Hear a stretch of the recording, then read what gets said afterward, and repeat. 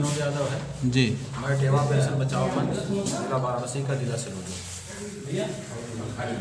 और कुछ बताएँ इसके बारे में?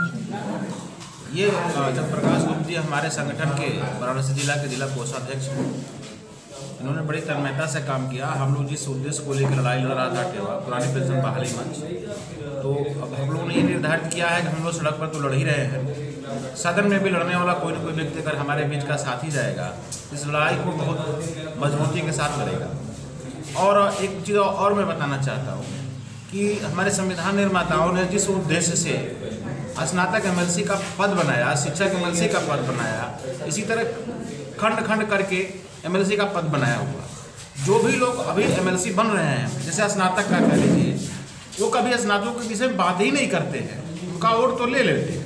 लेकिन उनके विषय में कभी आप नहीं सुने होंगे कि सदन में उनके लिए कुछ आवाज़ उठी हो उनको नौकरी देने की बात आई हो। इसलिए हम लोग ये चाह रहे हैं कि हमारा साथी अगर सदन में जाए तो हम लोग सड़क पर संघर्ष करें हमारा साथी सदन के अंदर संघर्ष करें ताकि स्नातक लोगों का भी भला हो और हम शिक्षक कर्मचारी अधिकारियों का भी भला हो।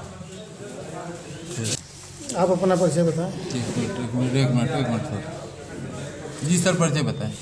मैं सत्येंद्र कुमार राय इतिहास प्रवक्ता जगतपुर इंटर कॉलेज जगतपुर वाराणसी में कार्यरत हूँ और अटेवा के प्रदेश उपाध्यक्ष हूँ। तो अटेवा के प्रदेश लेवल पर पूर्ण समर्थन चंद्रप्रकाश गुप्त को है?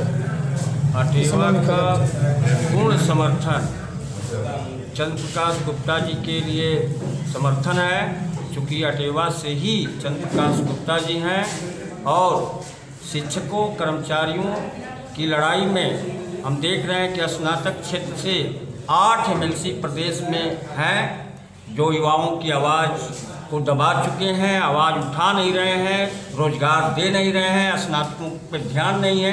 इसलिए हम लोगों ने यह तय कर रखा है अटेवा पूरा प्रदेश संगठन ने तय कर रखा है कि हमारे बीच का ही युवा चंद, साथी चंद्र प्रकाश गुप्ता जी, जो हम लोगों के साथ, संघर्षों के साथी हैं, लड़ाई का साथ देकर हर समय लड़ रहे हैं, उनको सड़क से सदन में भेजने के लिए हम लोग कटिबद्ध हैं। आटिवा पूरी तरह से समर्थन दे रहे हैं।